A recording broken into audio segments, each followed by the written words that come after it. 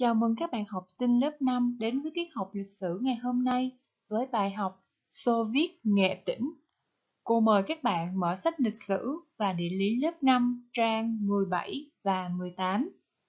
Trước khi bắt đầu tiết học, cô mời các bạn cùng xem đoạn phim sau.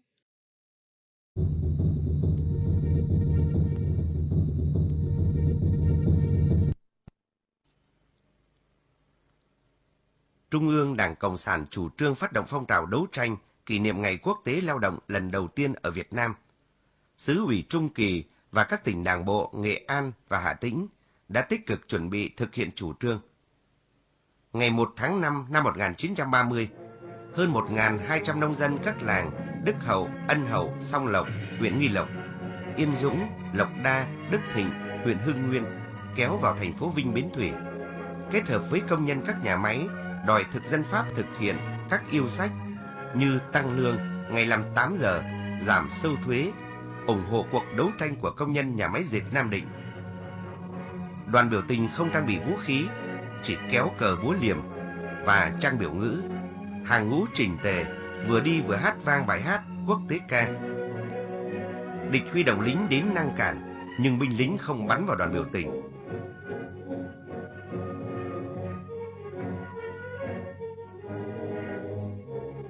Trước cuộc đấu tranh mạnh mẽ của lực lượng công nông nghệ tĩnh, thực dân Pháp đã tổ chức đàn áp bắn vào đoàn biểu tình, làm 7 người chết, 18 người bị thương và bắt hơn 100 người. Nét nổi bật của cuộc biểu tình này là lần đầu tiên trong lịch sử cách mạng xứ ta, công nông binh bắt tay nhau giữa trận tiền. Cũng ngày 1 tháng 5 năm 1930, tại huyện Thanh Trương, hơn 3.000 nông dân các làng La Mạc, Hạnh Lâm, Đức Nhuận đấu tranh phá đồn điền ký viễn, tịch thu ruộng đất chia cho nông dân. Học sinh trường tiểu học Pháp Việt Thanh Trương tổ chức meeting kỷ niệm Ngày Quốc tế Lao động qua huyện lỵ hô vang khẩu hiệu. Cùng với Nghệ An, tỉnh ủy Hà Tĩnh phát động một phong trào đấu tranh rộng lớn trong toàn tỉnh. Ngày 1 tháng 8 năm 1930, hơn 500 nông dân huyện Can Lộc biểu tình kéo vào huyền đường đưa yêu sách đòi giảm thuế, chia ruộng đất cho nông dân nghèo.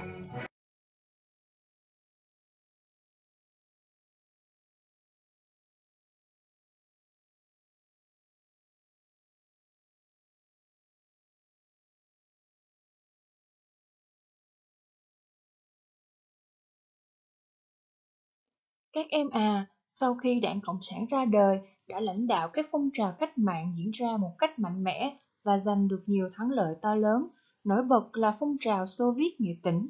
Để tìm hiểu kỹ hơn, chúng ta sẽ cùng đến với nội dung của bài học ngày hôm nay với các mục chính.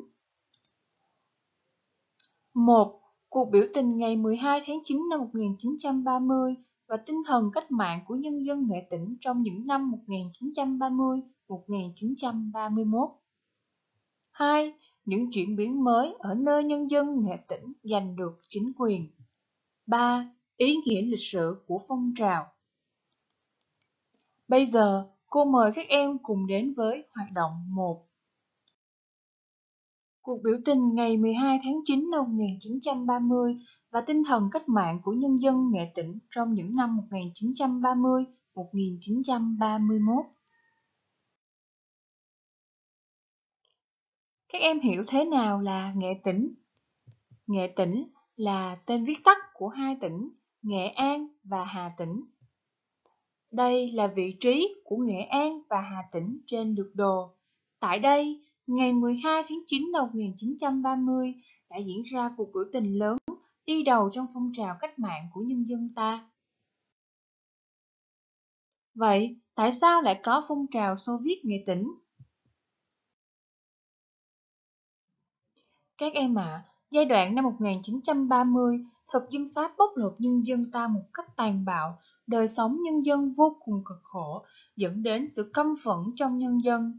Dưới sự lãnh đạo của đảng, phong trào Xô Viết nghệ tỉnh nổ ra, mở đầu cho phong trào là hàng loạt các cuộc biểu tình. Tiêu biểu là cuộc biểu tình ngày 12 tháng 9 năm 1930. Sáng ngày 12 tháng 9 năm 1930, khoảng 8.000 nông dân ở xã Hưng Nguyên kéo về phía ga Xuân Yên. đang biểu tình xếp hàng dài 3-4 km, tố cáo tội ác của thực dân Pháp và phong kiến phương Nam, kêu gọi quần chúng đi theo đảng, Cộng sản, tiếng hô khẩu hiệu. Đã đảo đế quốc, đã đảo Nam Triều, nhà máy về tay thợ thuyền, ruộng đất về tay dân cày, vang dậy cả một vùng. Số người tham gia biểu tình ngày càng đông, bị một toán lính đe dọa, trời lại mưa to, nhưng đoàn biểu tình vẫn giữ vững hàng ngũ, tiến về phủ lỵ Hưng Nguyên. Khi đoàn biểu tình đến Thái Lão, thực chính Pháp cho máy bay hai lần ném bom vào đoàn người, làm 217 người chết và 125 người bị thương, hàng chục người bị bắt giam. Cuộc biểu tình làm chấn động trong nước và quốc tế.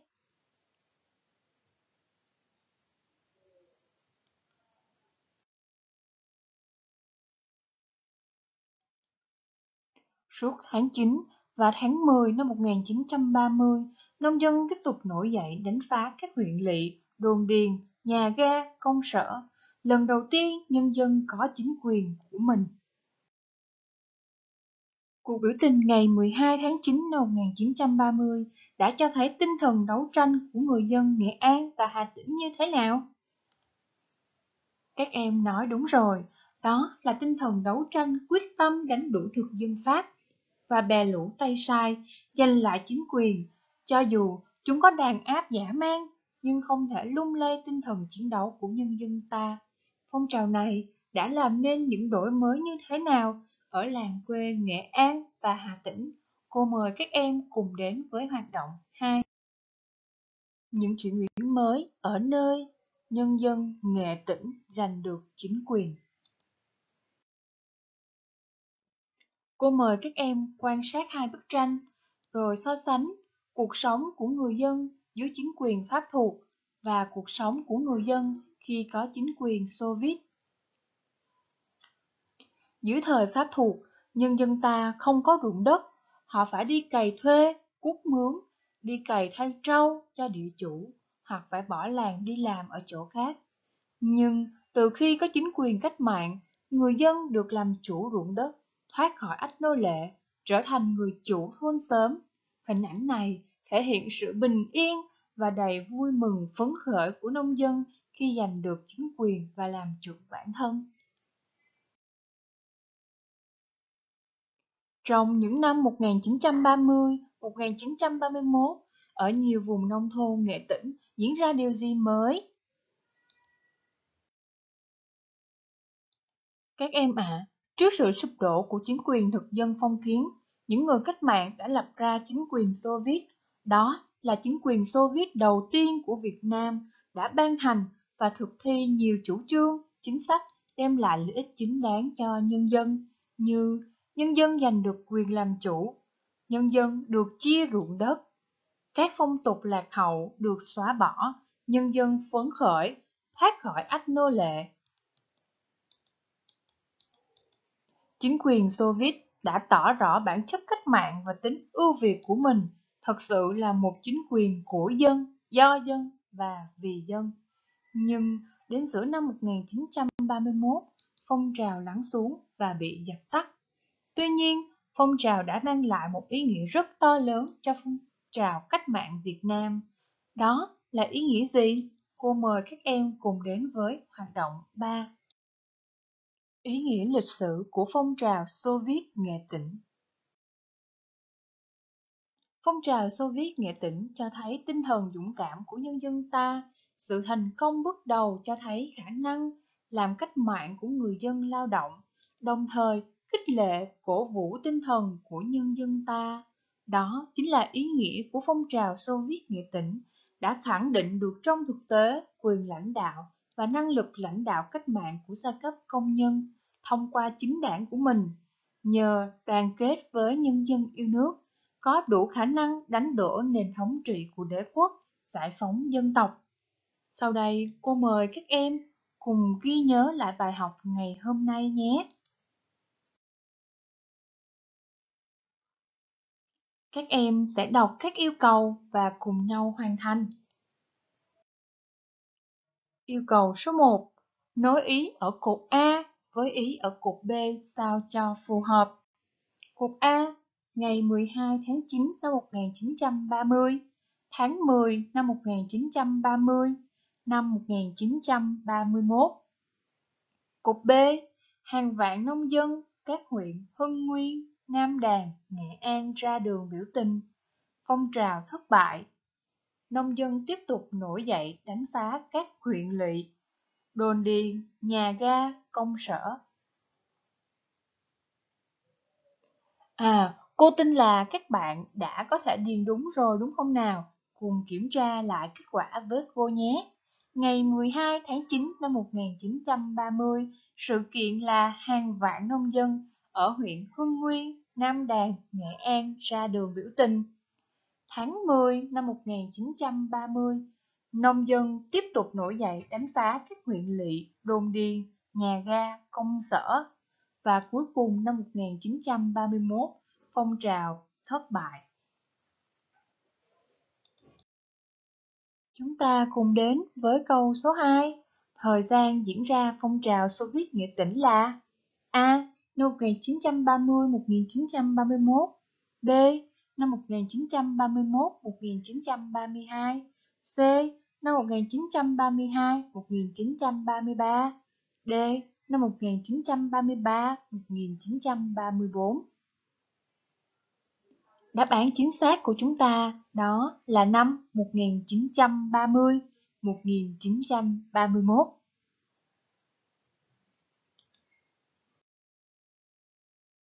Chúng ta cùng đến với câu số 3. Phong trào Xô Viết Nghệ tỉnh bị dập tắt vì A. Lần đầu tiên nhân dân giành chính quyền, B. Không tìm thấy người lãnh đạo phù hợp, C. Nhân dân không có vũ khí để chiến đấu, D đế quốc dùng thủ đoạn đàn áp phong trào. Câu trả lời của cô là câu D. Các bạn cũng chọn như cô, đúng không nào? Như vậy là chúng ta đã ôn. Xin chúc mừng các em đã có những câu trả lời đúng. Như vậy, cô và các em đã tìm hiểu xong nội dung của bài học ngày hôm nay. Cô mời các em cùng đọc lại ghi nhớ của bài học ngày hôm nay nhé. Trong những năm 1930-1931, nhân dân nghệ tỉnh đã đấu tranh quyết liệt, giành được quyền làm chủ, xây dựng cuộc sống mới, văn minh, tiến bộ ở nhiều vùng nông thôn rộng lớn. Ngày 12 tháng 9 là ngày kỷ niệm Xô Viết nghệ tỉnh. Tiết học của chúng ta đến đây là kết thúc rồi. Các em nhớ ôn lại bài ở nhà và chuẩn bị cho bài học tiếp theo nhé. Xin chào và tạm biệt các em.